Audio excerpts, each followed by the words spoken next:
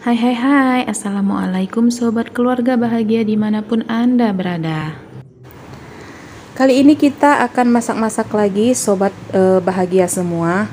Kita mau masak e, masakan ala rumahan yang cukup simple dan sederhana.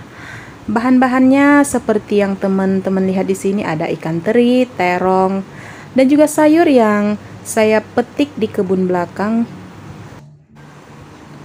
Vlognya juga udah saya tayangin di video sebelumnya ketika saya memetik sayur ya. Oke, sekarang saya mau potong-potong dulu terong ungunya. Ada dua biji, saya belah-belah seperti biasa aja. Oh ya, sambil masak, kayaknya kurang lengkap deh kalau saya nggak share ataupun ngajak teman-teman bahagia semua sambil bercerita cerita saya kali ini mungkin tentang uh, artis seorang teman sejati di mata para sobat bahagia semua. Kalian percaya nggak sih kalau sebenarnya teman sejati itu benar-benar ada?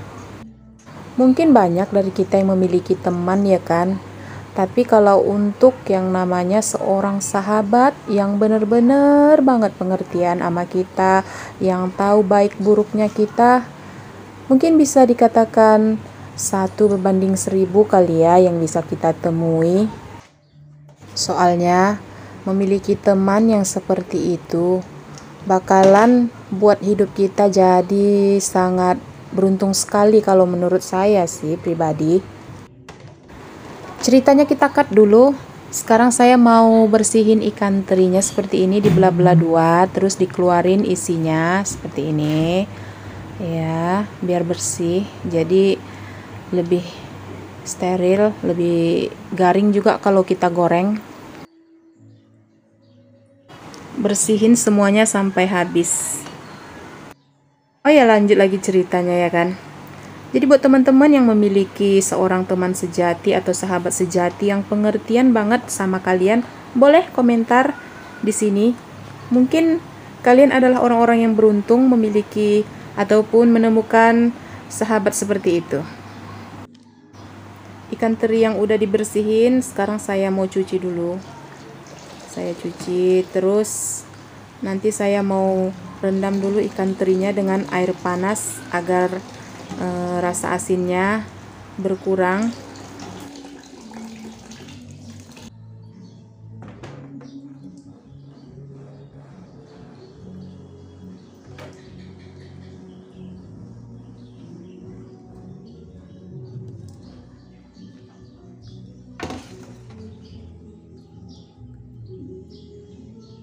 Selain ikan teri, saya juga e, mau goreng ikan laut yang saya beli kemarin biar agak lebih banyak ya. Soalnya kalau ikan terinya kan cuma dikit nih saya kasih ikan goreng tambahannya. Semua bahan-bahan yang tadi udah kita uh, bersihkan seperti ikan teri ataupun terong yang udah dibelah semuanya kita goreng aja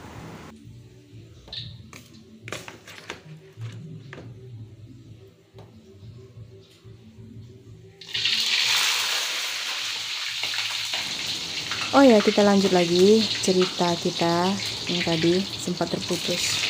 Nah, kalau untuk saya sendiri sampai dengan saat ini saya sih agak susah menemukan uh, seorang teman sejati yang benar-benar pengertian dengan diri saya. Dan saya juga sadar sih kekurangan saya masih sangat jauh uh, untuk dikatakan uh, sebagai seorang teman yang perfect karena saya juga banyak terdapat kekurangan.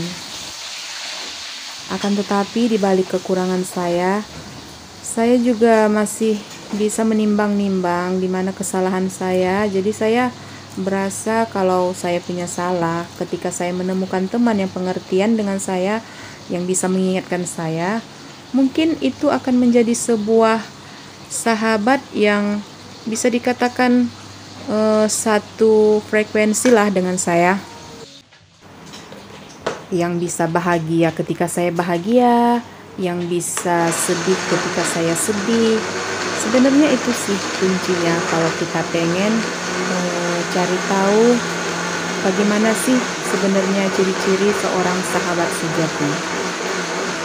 Bukan malah sebaliknya, ketika kita bahagia dia jadi nggak suka, terus ketika kita sedih dia jadi suka gitu. Tetapi di depan kita dia mungkin seolah-olah respect dengan kesedihan kita, seolah-olah dia support dengan kebahagiaan kita, tetapi sebenarnya di dalam hatinya mempunyai rasa berbanding terbalik dengan apa yang ditunjukkannya kepada kita.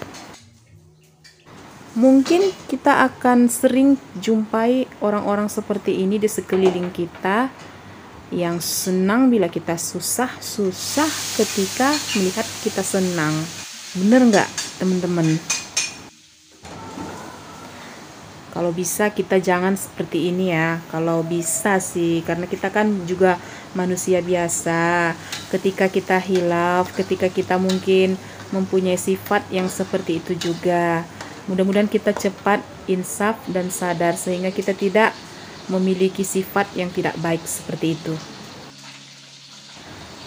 Kita cut lagi ceritanya. Sekarang saya mau uh, bersihin dulu sayurnya. Mau saya siangi dulu sayur daun ubi, pucuk daun ubi keriting yang baru saya petik di belakang rumah yang saya tanam sendiri sayur ini lembut loh teman-teman nah, terus sayur ini kemarin udah saya kasih juga vlognya kasih lihat ketika saya memetiknya di vlog saya sebelumnya.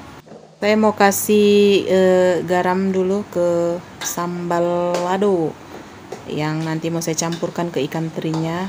Saya kasih gula, garam dan bisa juga ditambahkan kaldu bubuk sebagai uh, pilihan. Kalau Anda suka, kalau tidak suka bisa di skip aja.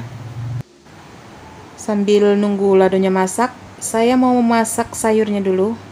Masaknya cukup simple, saya mau masak sayur manis daun ubi. Saya pakai santan instan aja, dididihkan seperti ini ntar kalau udah mendidih tinggal kita cemplungin deh sayurnya sebelum itu saya kasih irisan bawang merah dulu lanjut lagi ceritanya teman-teman semua apakah kalian juga merasakan seperti yang saya katakan tadi ketika kalian merasa ada teman yang baik di depan kalian namun ketika di belakang kalian merasa seperti dihianati ataupun uh, seperti istilah musuh dalam selimut seperti itu? Gimana sih rasanya kalau digituin? Pasti nggak enak banget ya kan? Saya tahu kok rasanya seperti itu ya apa mau dibuat ya kan? Namanya juga hatinya manusia.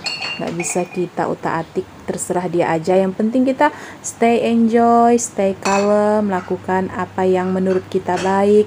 Tidak usah ambil hati dengan semua sikap ataupun yang orang lakukan kepada kita. Bawa santai aja kembali lagi nanti ke intinya yang baik bakal mendapatkan yang baik dan begitu juga sebaliknya yang terpenting kita terus berbenah diri, introspeksi diri karena prinsipnya juga kita sebagai manusia tentunya bakal e, banyak dan sering sekali melakukan kekilafan. Ya fokus untuk berbenah diri aja, nggak nggak usah fokus dengan kesalahan orang karena untuk mengkaji-kaji itu membuang-buang waktu. Yang terpenting fokus aja deh sama diri kita sendiri. Tara, masakan saya udah jadi nih teman-teman. Semoga bisa menjadi ide inspiratif untuk memasak kamu di rumah. Terima kasih buat teman-teman yang sudah nonton. Uh, jangan bosan-bosan untuk ikutin vlog kami selanjutnya. Uh, salam dari kami, keluarga bahagia di rumah. Wassalam.